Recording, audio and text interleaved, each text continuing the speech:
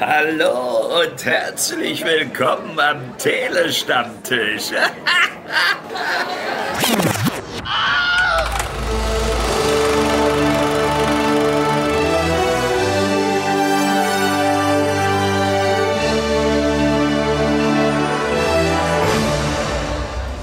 Hallo und herzlich willkommen beim Telestammtisch, wo ein Team aus hingebungsvollen Fans so gut wie alle Neuheiten aus dem Film- und TV-Bereich mit viel Expertise und Leidenschaft für euch bespricht.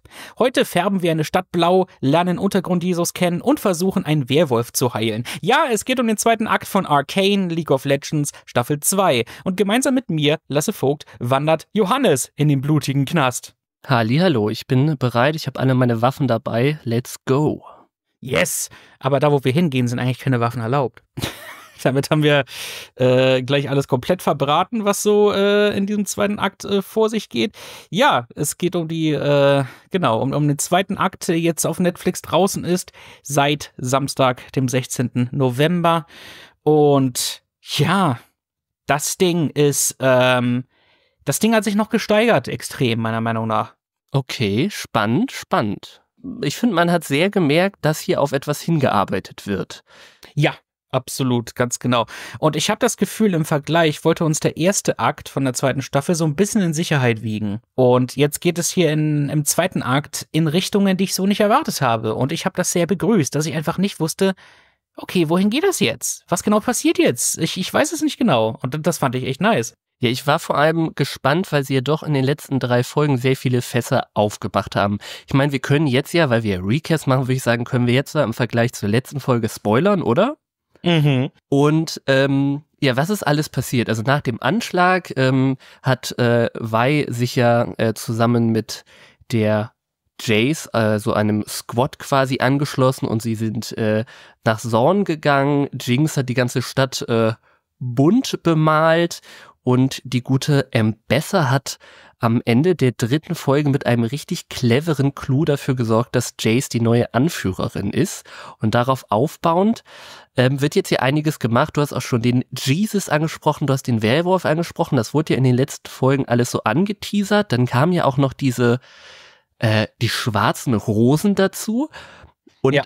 zum Teil wurde das jetzt schon aufgegriffen, aufgelöst. Andere Sachen wie mit der schwarzen Rose wird jetzt, also das kommt noch, da bin ich sehr gespannt. Da muss ich sagen, das mit der schwarzen Rose ist der Plotpunkt, den ich am wenigsten interessant finde irgendwie. Es, und er sehr verwirrend auch.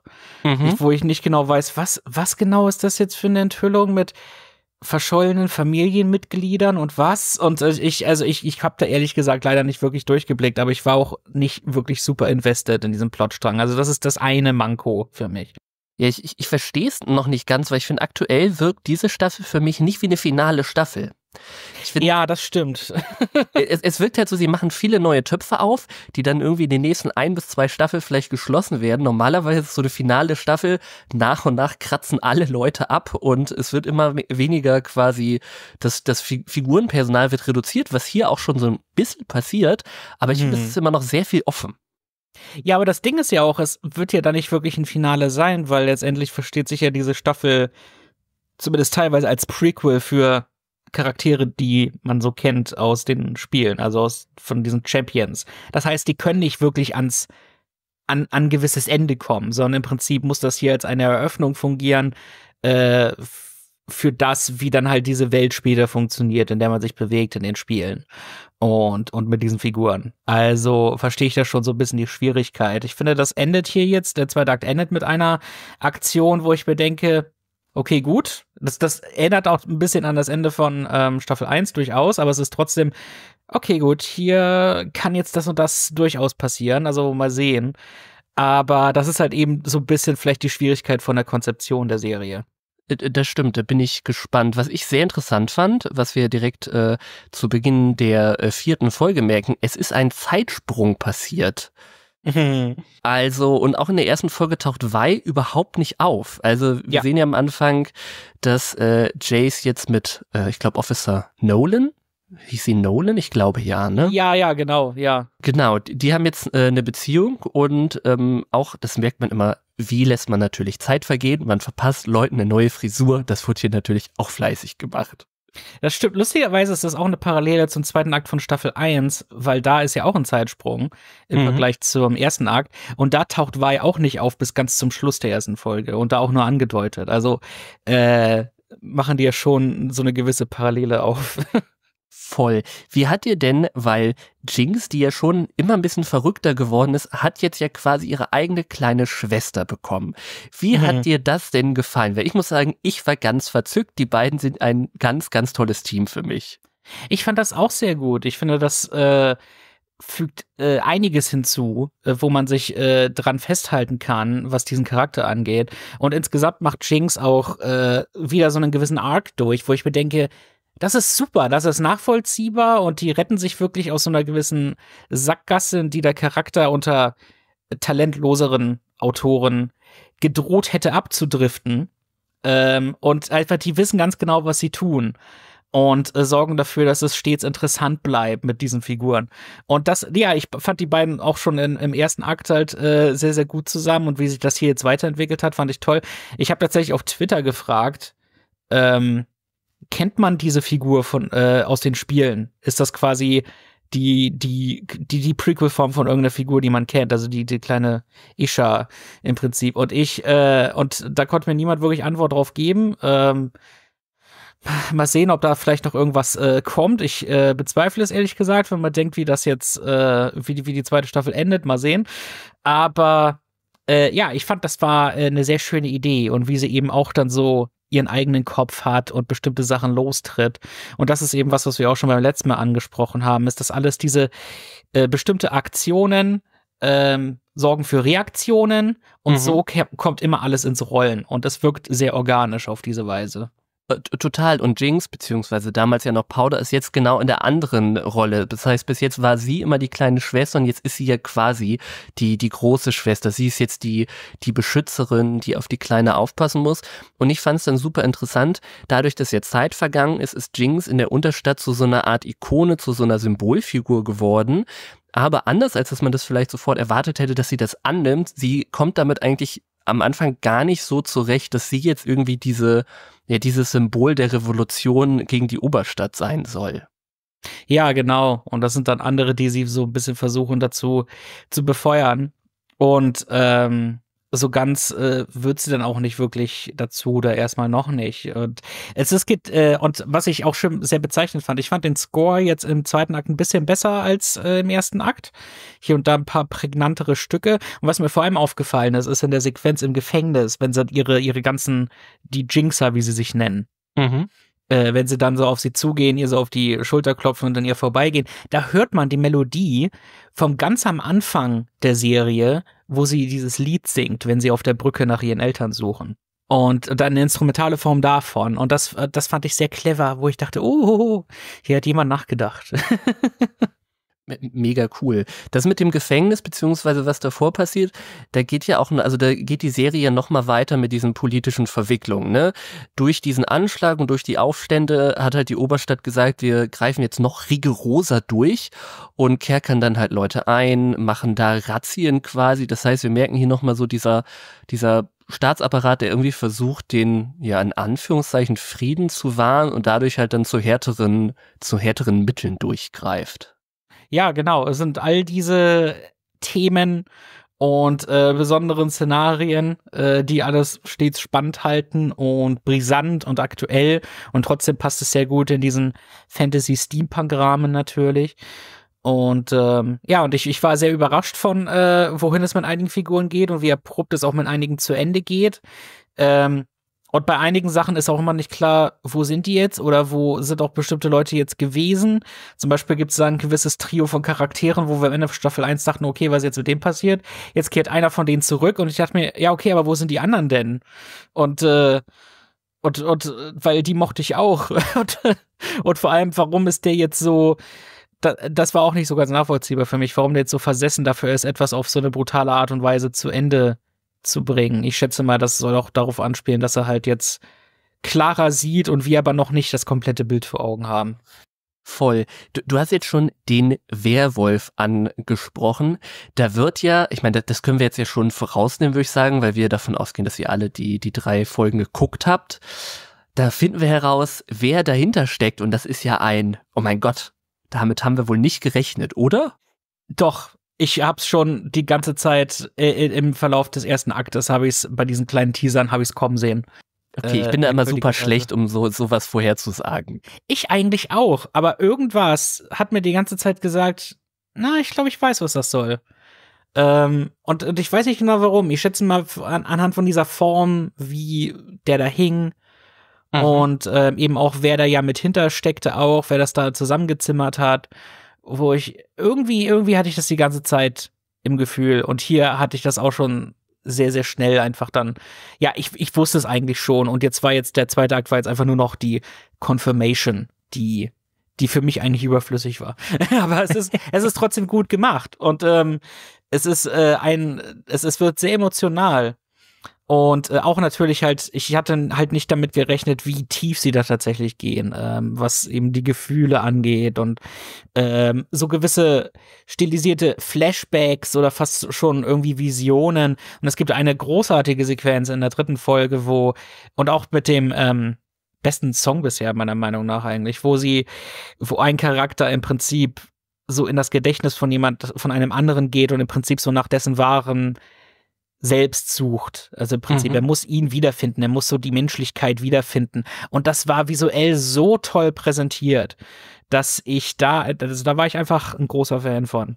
Ja, ich finde es spannend, dass sie es aufmachen und dann ja doch relativ schnell wieder schließen. Hm. Da bin ich gespannt. Also ich finde, man merkt hier ja, wir haben jetzt dadurch, dass äh, Jace und äh, Vi voneinander getrennt wird, wird ja quasi dafür gesorgt, dass das Vi dann in der in der fünften Folge, also jetzt der zweiten Folge, das, äh, die jetzt veröffentlicht worden ist, erstmal alleine dasteht und irgendwie ziellos als, als Untergrundkämpferin da agiert und so dann halt wieder zu Jinx trifft. Das ist ja eine mhm. ganz clevere Sache, um zu sagen, okay, wie kriegen wir die beiden Schwestern schnell wieder zusammen? So machen wir das. Ja, genau, aber das wird aber auch klar, durch die Montagen sind so gut geschnitten, dass du schnallst, wie viel Zeit ungefähr vergeht. Und dann sind diese Sprünge auch nachvollziehbar. Für uns selbst vergeht nicht viel Zeit, aber du verstehst, ja, hier ist eine Entwicklung und ähm, du hast eine ungefähre Vorstellung davon wo wir jetzt sind, weiß ich, sind es Tage später, sind es Wochen später und so weiter und so fort. Und von bestimmten Entwicklungen sind wir dann entsprechend überrascht, weil die dann uns so als gegeben hingestellt werden. Mhm. Und wir uns denken, okay, das hat sich dann einfach offscreen entwickelt und das ist, kann halt für einige vielleicht ein bisschen plötzlich wirken. Aber wenn man dann nochmal zurückdenkt an Staffel 1, gibt es so bestimmte Punkte, wo man denkt, ja, das, das ergibt Sinn.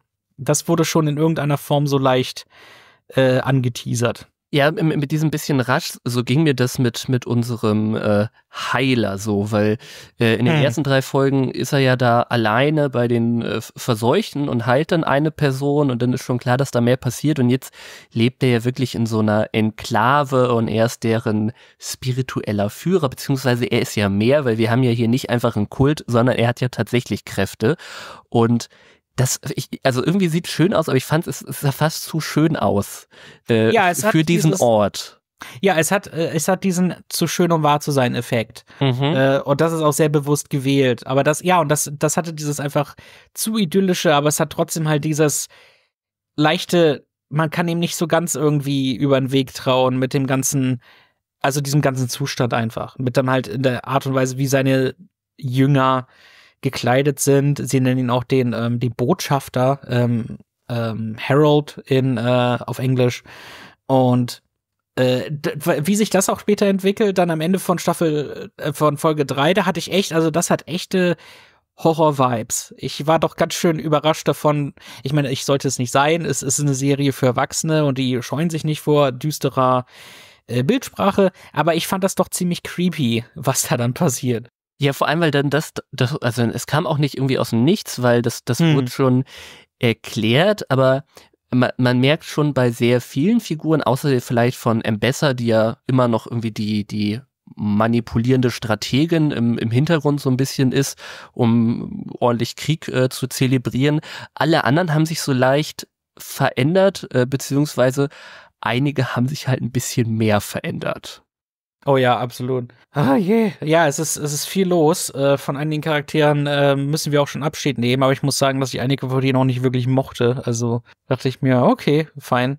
Ähm, und sie führen immer noch die ähm, das fort mit halt ähm, Songs und so weiter und so gewisse Musikvideo-Ästhetik, aber halt nicht so das, das extremste Beispiel ist direkt am Anfang von der ersten Folge von Akt 2, mhm. ähm, wo ich jetzt auch nicht unbedingt ein Fan vom Song war, aber ich dachte, okay, ist fein. Ähm, aber womit ich ein Problem hatte tatsächlich bei, der, bei dem Song-Einsatz, war tatsächlich die letzte Szene, die letzte Sequenz, wo ich dachte, ah, hier hätte etwas traditionellerer Score hätte, finde ich, besser gewirkt als dieser Song, der dann bei dieser doch sehr dramatischen Sequenz läuft. Das, da war ich nicht wirklich mit einverstanden. Ja, allgemein konnte ich mit der Songauswahl, die waren auch alle, finde ich, nicht nie so präsent wie in den ersten drei Folgen. Ich fand, es war hm. gefühlt auch weniger, vor allem kürzer. Also in den ersten drei Folgen ging das ja zum Teil richtig, richtig lange. Da waren, also hatte man fast das Gefühl, dass die ganzen Songs komplett ausgespielt wurden. Und hier waren das eher nur so kurze Teile davon. Ja, ja, es ist wirklich, es ist ein Unterschied. Und äh, ich weiß nicht, also es, es wirkt halt nicht in irgendeiner Form, oh, die hetzen jetzt ganz doll und ich bin mir sicher, die wissen, was sie tun und wo es dann letztendlich hingeht. Ähm, vielleicht werden ja auch einige der Folgen, die noch auf uns zukommen, dann ein bisschen länger. Mhm. Äh, wer weiß. Also, äh, das ist ja alles in irgendeiner Form jetzt äh, da durchgeplant und mal schauen, was dann so kommt. Aber so wie es sich bis jetzt entwickelt hat, ich war sehr, ich, ich war sehr ähm, erfreut darüber, dass ich von bestimmten Sachen doch überrascht war äh, wie gesagt, die eine Sache hatte ich halt schon in, im ersten Akt vorausgesehen, aber der ganze Rest hat dann einfach äh, gut funktioniert auf diese Weise. Und das macht eben dann sehr Spaß. Und ja, ich bin natürlich nach wie vor gespannt, äh, was da noch so kommt. Und es ist, äh, ist eine besondere, eine besondere Serie, die nach wie vor visuell grandios funktioniert und sich darauf auf uns auch wirklich ohne Kompromisse da ihre Geschichte erzählt, ob es so Leuten gefällt oder nicht. Du hast halt nicht das Gefühl, die, die machen das dann so, oh, wir, wir, wir halten uns im, so auf der sicheren Seite, damit halt so bestimmte Fans ihre Chips kriegen und ähm, dass das, das an alles so, weißt du, das einfach, oh, und unsere Charaktere haben da ihre Plotarme an und so weiter und so fort. Und ich meine, bestimmte haben, bestimmte Charaktere haben das, weil sie einfach aus der Logik davon, dass es im Prinzip ein Prequel ist, dass sie einfach nicht sterben können aber das hält sie trotzdem nicht davon ab, alles so gefährlich wie möglich zu machen, wenn es drauf ankommt. Ja, auf jeden Fall. Und ich, mir, mir fällt gerade auf, dass ich die ganze Zeit Caitlin Jace genannt habe. Das oh. äh, Schande auf, auf mein Haupt, weil das ist, das ist ja, also Jace taucht ja nur ganz kurz auf und ähm, dann ist er ja ganz radikal, indem er unseren, äh, unseren religiösen Führer da, das ist die Frage, das äh, werden wir dann Anfang der nächsten Folge sehen, ob Victor tot ist oder nicht. Mhm. Ja, ja, ja. Ich, ich, ich, bin mal gespannt. Also es wirkt schon sehr endgültig, wie er da liegt, Auch aber gleichzeitig ist er ja, ja, irgendwie verbunden, sehr, ne? Sehr clever auch, wie sie da, wie der Anfang von Folge 3 eigentlich dann das Ende von Folge 3 ist, aber wir das erst am Ende merken. Mhm. Das, das fand ich sehr, sehr gut. Und ja, und da ist etwas eingebaut am Anfang, wo ich dachte, ah, mal schauen. Mal schauen, was da vielleicht noch ist. Mal sehen. Ja, es ist, es ist, äh, interessantes Ding nach wie vor. Und ja, ich meine, ich habe auch jetzt das verwechselt mit Chase. Also ich, ich habe dich auch nicht korrigiert, weil ich es nicht gemerkt habe, ich depp. Sind wir hier zwei Dove, die diese Serie für nicht Dove besprechen. Wunderbar aber äh, wir wissen ja, äh, wen wir wissen, wissen ja, wen wir meinen. Genau, du hast auch schon angesprochen, die Visualität, die ist wieder ganz großartig. Also allein der Anfang der vierten Folge, da wird ja direkt auch wieder mit Schwarz-Weiß und mit Blau, also auch da wird ja wunderbar gezeigt, wie Zeit vergeht, wie Jinx irgendwie zu so einer Ikone wird. Oder auch du hast den Rückblick angesprochen, der dann in so ich bin ganz schlecht im Beschreiben von irgendwelchen Farbstilen.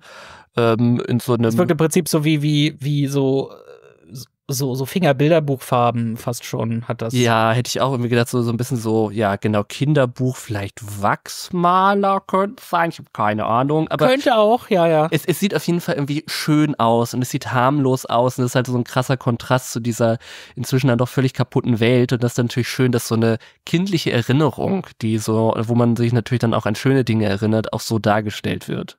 Ja, ja, und man sieht überraschende Seiten von einem gewissen Charakter, den man in der ersten Staffel ganz anders kennengelernt hat. Und ähm, dafür sind eben diese Flashbacks auch sehr gut. Ähm, was mich ein bisschen verwirrt hat, ist, dass sie die ganze Zeit irgendwie den letztendlichen Vater außen vor lassen in diesen Flashbacks. Ich meine, man sieht ihn einmal kurz, aber der mhm. ist halt nicht wirklich ein Charakter sondern sie konzentrieren sich immer auf die Mutter, wo ich mir denke, hat das vielleicht auch noch eine Bewandtnis.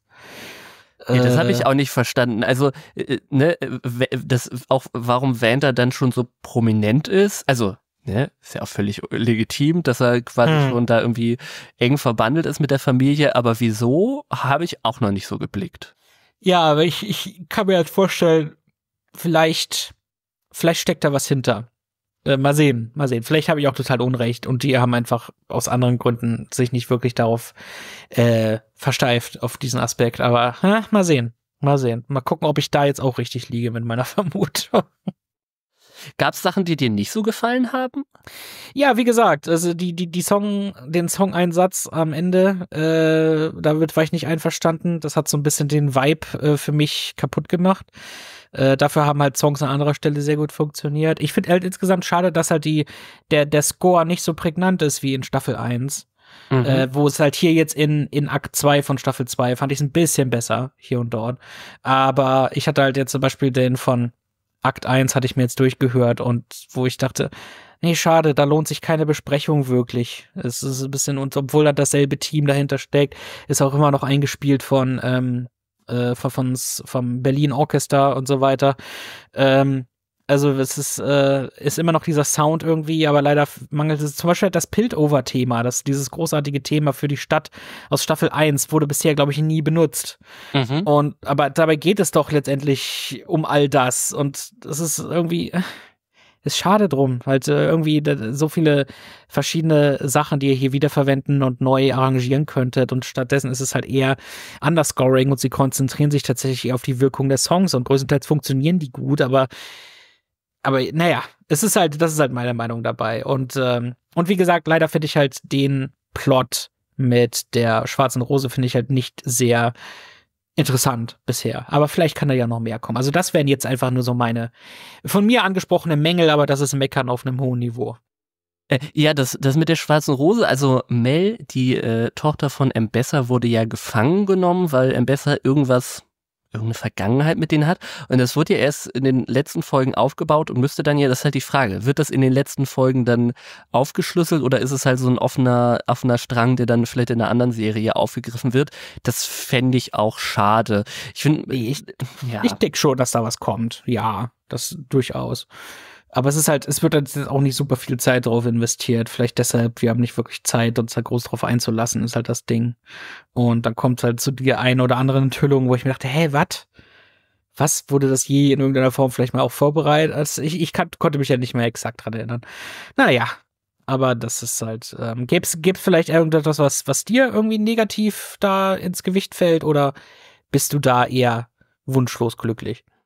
Nee, ich, also es gibt natürlich auch wieder ein paar ikonische Bilder hier, aber ich finde allgemein wirken diese Folgen so ein bisschen halt sehr wie so das Bild ab für die letzten drei Folgen. Also ich finde, man merkt halt, dass Sachen aufgebaut werden, die abgesehen halt von der Sache jetzt mit, mit Vander und der, der kleine Jinx 2.0, die ja wahrscheinlich, ja, zu Ende sind jetzt erstmal. Mhm. Ähm, aber ich, es, es fehlte für mich so ein bisschen das, äh, das, das abgeschlossen und ich bin habe so ein bisschen Angst, aber es ist glaube ich eher so ein, so ein Blick in, dann in, auf nächste Woche, dass das Finale dann sehr gehetzt wirkt, weil ich das Gefühl habe, für die letzten drei Folgen noch sehr viel offen ist. Und ich hoffe schon, dass diese Geschichte ein abgeschlossenes Ende wird, auch wenn andere Figuren natürlich irgendwie dann weiter woanders getrieben werden können. Aber ich fände es sehr schade, wenn das komplett offen bleibt. Ja, ich könnte mir halt vorstellen, vielleicht, weil letztendlich ist das ver vergleichsweise ja erfolgreich auch. Ich könnte mir vorstellen, dass sie eventuell nach dieser Sache, dass sie dann sagen, okay, und jetzt ist die Geschichte von Piltover vorbei mhm. mit diesen Figuren. Und dann konzentrieren sie sich vielleicht in Zukunft, wenn sie weitere Sachen machen, konzentrieren sie sich vielleicht auf andere Aspekte, Orte und Figuren dieser Welt, weil da gibt es eine ganze Menge, was man machen kann äh, da, da ist so viel, da ist so viel drin tatsächlich von von den Locations und von den Figuren her, von den verschiedenen Kräften her und das das zeigen halt diese diese Werbespots und Kurzfilme äh, mit diesen ganzen Figuren halt etwas so etwas wie Bilgewater, so dieses Piratennest und so. Also es gibt da es gibt zahlreiche Figuren und Orte, wo man coole Sachen machen kann mit diesem Animationsstil. Und ich denke mal, dass es vielleicht darauf dann hinausläuft. Und dass vielleicht aber Charaktere, die wir aus dieser Serie kennen, dass die vielleicht auch mal wieder auftauchen dann bestimmt, da wird das Potenzial für so ein Shared äh, Universe, was ja quasi schon da ist, durch das Spiel auf jeden Fall äh, genutzt. Das kann ich mir auch vorstellen. Ich hoffe schon, dass die Serie, ich meine, das war ja auch die Qualität der ersten Staffel, dass die trotz dieser ganzen für Fans äh, wahrscheinlich ansp existierenden Anspielungen, dass sie trotzdem für sich genommen alleine funktioniert. Und deswegen ja. hoffe ich da auch, dass sie dann am Ende äh, auch einigermaßen abgeschlossen sind. Ich glaube, ich fand es dann auch schade, dass dann in den Folgen fünf und sechs dann diese große politische Komponente eine, eine weniger eine Rolle spielt, weil es dann doch mehr um das, das Persönliche geht, auch wenn, wenn die, die Armee der Oberstadt dann das Monster quasi für sich äh, äh, nutzen wollten, was dann jetzt zum, zum Glück wahrscheinlich nicht geklappt hat. Das hat mich tatsächlich nicht so gestört, dass das eher in den Hintergrund getreten ist und wir jetzt eher auf der persönlichen Charakterebene unterwegs sind. Vor allem halt, weil ich es halt sehr schön finde, wie bestimmte Figuren wieder zueinander finden wo ich mir dachte, okay, gut, jetzt immerhin ist zwischen denen gerade so ein bisschen, jetzt vergleichsweise Waffenruhe oder wenigstens auch ein paar Sachen geklärt. Und mhm. das finde ich ist ein sehr gutes Setup für ein hoffentlich schönes Finale. Und das wäre so meine, das wären so meine letzten Worte erstmal dazu. Ja, wunderbest. Das heißt, also eigentlich sind wir immer noch wieder dabei. Es ist eine fantastische Serie. Sie ist großartig geschrieben. Sie sieht großartig aus. Sie nutzt das Medium Animation wieder auf fantastische Weise. Also guckt einfach weiter, ne? Ja, genau. Das, das, ist, das ist unsere Meinung dazu, ganz genau. Wir melden uns nächste Woche wieder, wenn es hier heißt Arcane, der Kampf um Piltovers Seele letztendlich. Und ähm, wir hoffen, dass wir, äh, ja, dass wir dann da äh, befriedigt von weggehen. Und äh, ich bin sicher, ihr könnt es dann auch kaum noch abwarten. Wir hoffen, euch äh, hat die Besprechung gefallen. Wir hoffen, ihr habt vorher die ähm, Folgen vielleicht gesehen auch, weil wir haben hier einiges vorweggenommen. Aber hey, ist unsere Show. Und äh, vielleicht kann ja jemand da Spoiler mit den Titel schreiben. Mal sehen. Und äh, vielen, vielen Dank fürs Zuhören. Und äh, damit verabschieden Johannes und ich uns äh, mit äh, den herzlichsten Grüßen vom Telestammtisch. Schaltet ein, wenn es wieder heißt. Wir besprechen Filme und Serien für euch. Und wir freuen uns immer, wenn ihr einschaltet. Bis dann und tschüss. Ciao, ciao.